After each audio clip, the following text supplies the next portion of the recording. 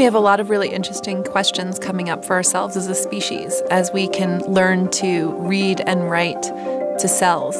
You know, up until the turn of the last century, we viewed the body as kind of divine, and if something were wrong with it, we looked to above for the answers.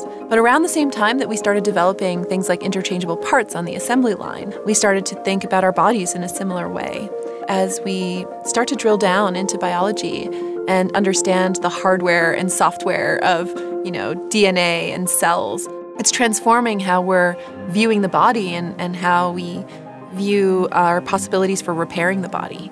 Instead of thinking, okay, well, let's make a titanium implant to replace a hip, why not take the cells that repair our bodies every day, repair our bones every day, and collaborate with those cells to make a new living hip? A very paradigm shifting question that I am seeing being asked all around the world is can I do fill in the blank with cells? Can I replace pixels in a video game with cells? Can I grow leather from cells? Can I grow homes with cells? You know, why not use living lattices of, of plants to grow new living structures? It's really happening all around the world. Um, people are learning to collaborate with cells. It's a very, very disruptive technology, and I believe has potential for lots of positivity for us as a species.